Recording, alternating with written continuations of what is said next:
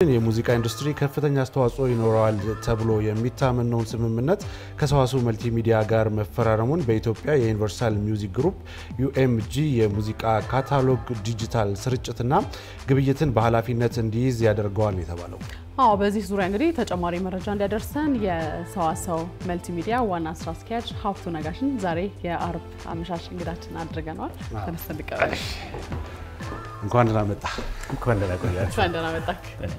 እንዴት ናችሁ? ሰላም ነው? ሰላም ነው።? እግዚአብሔር ይመስገን። አሁ እንግዲህ ተመልካቾቻችን ከሰዋስው መልቲሚዲያ ጋር እና እንደዚሁም ከዩኒቨርሳል ሚውዚክ ጋር ያለውን ጉዳይ ወደ እናንተ ልናደርስ ነው እንግዳ የጋበዝነው። አንዳንድ ጥያቄዎችን ወደ እሱ የምናቀርብ ነው የሚሆነው። እንግዲህ ከዩኒቨርሳል ስቱዲዮ ጋር ግንኙነት እንዴት ፈጠራችሁ፣ እንዴት ስምምነት ላይ ልትደርሱ ቻላችሁ የሚለውን ጉዳይ እስቲ እናስቀድም። ትንሽ ረዘም ያለ ጊዜ ነው negotiation የሄደው፣ አድካሚ ነበር። እንዴት መሰለ የጀመርነው ዓለም ላይ ቁጥር አንዱ እና ብዙ አርቲስቶችን ካታሎግ የያዘው ዩኒቨርሳል ሚውዚክ ነው። የምንወዳቸው እና የምናደንቃቸው specially ደግሞ እኛ ኢትዮጵያውያን የምንሰማቸው የ international ሙዚቃዎችን ካታሎግ የያዘው ዩኒቨርሳል ስለሆነ በ world ላይ dominate ያደረገው ዩኒቨርሳል ሀገር ውስጥ dominate ካደረገው ሰዋሰው ጋር ለምን አይሰራም? visibility ም ደግሞ clear የሆነ visibility ፈጥሯል። ሰዋሰው የራሱ የሆነ impact ፈጥሯል እና initiate ካደረግን በኋላ የእኛን እንትን ካዩ በኋላ ነው የእኛን መንቀሳቀስ ካዩ በኋላ ነው እነሱም interest ኣቸውን ያሳይ እንትን ያሉት ከኛ ነበር መጀመሪያ የመጣው ማለት ነው። እንትኑ initiation ኑ ከኛ ነበር የመጣው።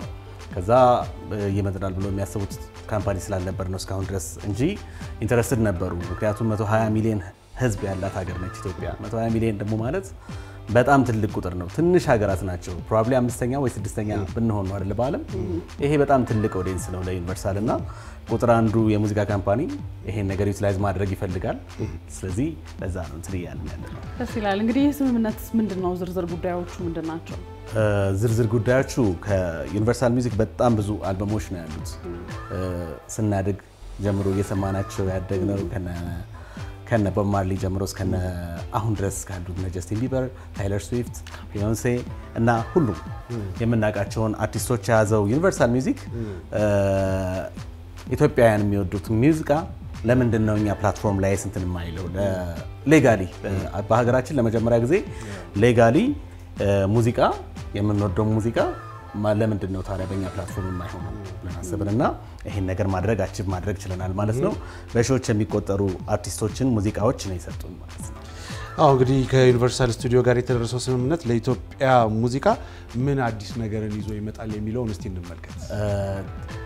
እንደነገርኳቸው ዩኒቨርሳል ሚውዚክ በጣም giant ነው። ከ46 ቢሊዮን ዶላር በላይ የሚያንቀሳቅስ አንደኛ መሆኑ ብቻ አይደለም፣ ከሁለተኛ ሶስተኛና አራተኛው ራሱ ቢደመር የማይደርስበት አይነት difference ነው ያለው እና ይህንም ያህል company interest ማሳየት ከጀመረ 120 ሚሊዮን ሕዝብ እንደ asset መቁጠር ከጀመረ የእኛንም አርቲስቶች መውሰድ ይጀምራል ማለት ነው። ይሄ ደግሞ ለእኛ አርቲስቶች ትልቅ opportunity ነው ይዞላቸው የመጣው technically ም technologically ም financially ም የሚጠቀሙበትን opportunity የመጀመሪያው በር ተከፈተ ማለት ነው። ደስ ይላል። እንግዲህ እንደ ሀገር የኢትዮጵያን የሙዚቃ ኢንዱስትሪ በደንብ ከፍ የሚያደርግ እድል እንደሆነ ይሰማኛል በበኩሌ እና በአጠቃላይ ግን እንደ ሰዋሰው መልቲሚዲያ እንደው ምንድን ነው ግብ ከዚህ በኋላ? ሰዋሰው መልቲሚዲያ መጀመሪያም እንደምታውቁት አብራችሁን ነበራችሁ ከመጀመሪያም ጀምሮ creativity ን reward ለማድረግ creativity ን reward የማድረግን ዓላማ ይዞ የተነሳ ድርጅት ነው እና almost dormant የነበረውን የሙዚቃ ኢንዱስትሪ ባያችሁት መልኩ አንድ ዓመታችን ነው ገና በደንብ አነቃቅተነዋል። ከዚህ በፊት ተደርጎ በማይታወቅ መልኩ ሀያ አልበም በአመት ለቀናል። ትልልቆቹን አስቴር አወቀን፣ ግርማ ተፈራን፣ አብነት አጎናፍርን እንደዚሁም ሄኖክ አበበን ጨምሮ ሀያ አልበም ለቀን ነበር ባለፈው አመት። ከዚህም በኋላ ደግሞ እንደዚሁ አልበሞቹን continuously በዚህ መልኩ ማውጣት technology driven የሆነ record label እና ደግሞ በአፍሪካ leading የሆነ streaming platform እንዲኖረን የማድረግ ህልምን ይዞ የመጣ ከዛ ውጭ ደግሞ ሙዚቃን ብቻ ሳይሆን creativity እንደሆነ ወደ ሌላ ነገሮች diversify የማድረግን ፍላጎት ይዞ የመጣ creativity ለሀገራችን ኢኮኖሚ የራሱን የሆነ ሚናን ይጫወት የሚል ዓላማ ይዞ የተነሳ ነው።